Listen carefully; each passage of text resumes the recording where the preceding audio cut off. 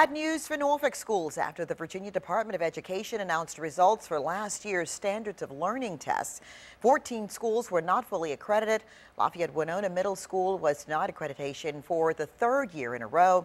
The status of Lindenwood Elementary and William H. Ruffner Middle will be decided by the Board of Education in October.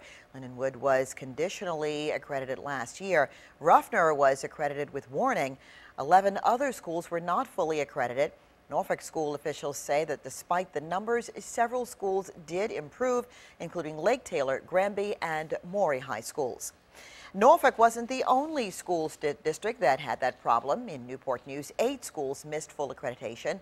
Hampton had six. Four Portsmouth schools did not receive full accreditation.